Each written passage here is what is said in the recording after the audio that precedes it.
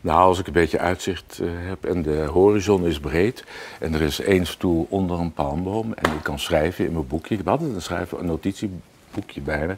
En ik kan schrijven en mijn gedachten kunnen wegdrijven en ik kijk omhoog en uh, dan ben ik eigenlijk heel gelukkig. Ik zeg, ja, maar dan ben je vaak alleen. Ja, ik ben vaak alleen. Maar dat is wel een keuze. Om alleen te zijn en alleen te durven zijn. Ik heb altijd wel iemand in mijn hoofd die mijn gezelschap houdt.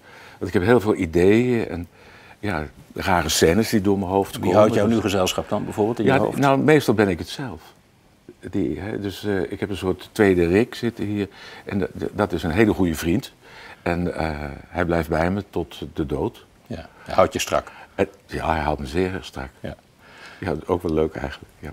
Doet me een beetje denken aan het feit dat je wel eens verteld hebt dat je hier s ochtends wakker werd over die tweede Rick. En dat je dan in de spiegel keek en dat je dan tegen jezelf zei: Goedemorgen, Goedemorgen. Rick. Dat klopt dus. Dat klopt. Precies. Ja, ja en in Frankrijk zeg ik bonjour.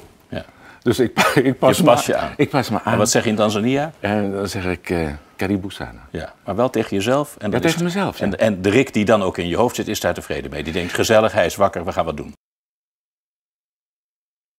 Rick Velderhof, geboren in Amsterdam in een gezin met drie kinderen. Mama was tijdens de oorlog uit angst voor de nazi's naar het buitenland vertrokken. Noemde zich in die tijd Maria Ravelli.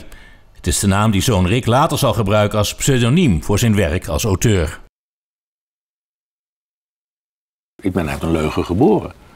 Hoe fijn is dat? Hoe positief? Hoezo ben je uit een leugen geboren? Nou, mijn moeder heeft twee jaar lang moeten liegen dat ze een ander mens was. En als ze dat niet had gedaan, dan was ze opgepakt en dan was ik nooit geboren geworden. Nee. En door goed te liegen, mooi te liegen, is het uh, toch wel goed gekomen. Ja.